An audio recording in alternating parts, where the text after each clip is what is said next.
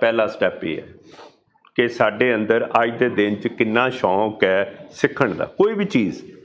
ਆਸ-ਪਾਸ ਤੁਹਾਡੇ ਕੋਈ ਇਨਸਾਨ ਹੈ, ਤੁਸੀਂ ਇੱਕ ਚੀਜ਼ ਸਿੱਖਦੇ ਹੋ ਕਿ ਇਸ ਤਰ੍ਹਾਂ ਕਰਨਾ ਚਾਹੀਦਾ ਹੈ। ਆਹ ਚੀਜ਼ ਇਹਦੇ ਕੋਲ ਸਿੱਖਣ ਵਾਲੀ ਹੈ, ਆਹ ਚੀਜ਼ ਇਹਦੇ ਕੋਲ ਸਿੱਖਣ ਵਾਲੀ ਹੈ, ਆਹ ਚੀਜ਼ ਇਹਦੇ ਕੋਲ ਸਿੱਖਣ ਵਾਲੀ ਹੈ।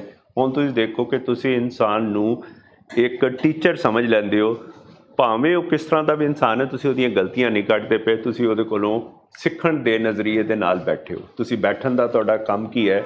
ਕਿ ਤੁਸੀਂ ਉਹਦੇ ਕੋਲੋਂ ਕੀ ਸਿੱਖਣਾ ਕੀ ਹੈ? ਬੱਚੇ ਕੋਲ ਬੈਠੇ ਹੋ, ਬੱਚੇ ਕੋਲੋਂ ਕੀ ਸਿੱਖਣਾ ਹੈ? ਬਜ਼ੁਰਗ ਕੋਲ ਬੈਠੇ ਉਹਦੇ ਕੋਲੋਂ ਕੀ ਸਿੱਖਣਾ ਆਪਣੇ ਹਾਲ ਦੇ ਬੰਦਿਆਂ ਕੋਲੋਂ ਕੀ ਸਿੱਖਣਾ ਆਪਣੇ ਜਿਹੜੇ ਤੁਹਾਡੇ ਕੰਮ ਕਰਦੇ ਹੈ, ਲੋਕ ਤੁਹਾਡੇ ਨਾਲ, ਉਹਨਾਂ ਕੋਲੋਂ ਕੀ ਸਿੱਖਣਾ